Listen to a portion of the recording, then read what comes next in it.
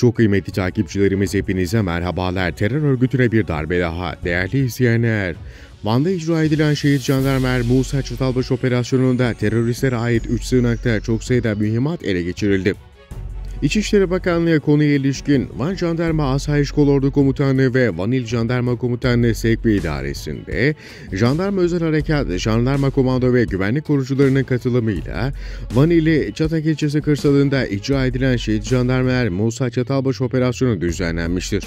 Operasyon kapsamında teröristlere ait 3 adet sığınak tespit edilmiş olup, sığınaklarda yapılan arama neticesinde 11 adet roket atar mühimmatı, 634 adet çeşitli çap ve ebatta mühimmat, 2 adet el bombası, 4 adet değişik silahlara ait şarjör, 6 adet EYP, 28 adet fünye, 200 gram TNT patlayıcı, 1 adet el telsizi, 11 adet akü, 133 adet tüp, 1 adet el dürbünü, 4 adet jeneratör, 900 metre kablo, çok sayıda örgütsel doküman, tıbbi, inşaat ve yaşam malzemesi ele geçirilmiştir. Terörle mücadele operasyonlarına halkımızın da desteğiyle inançlı ve kararlı bir şekilde devam edilmektedir. Haberimizin sonuna geldik. Sizlerden kanalımıza abone olmanızı, videolarımızı beğenmenizi ve nokta dahi olsa yorum bırakmanızı rica ediyoruz.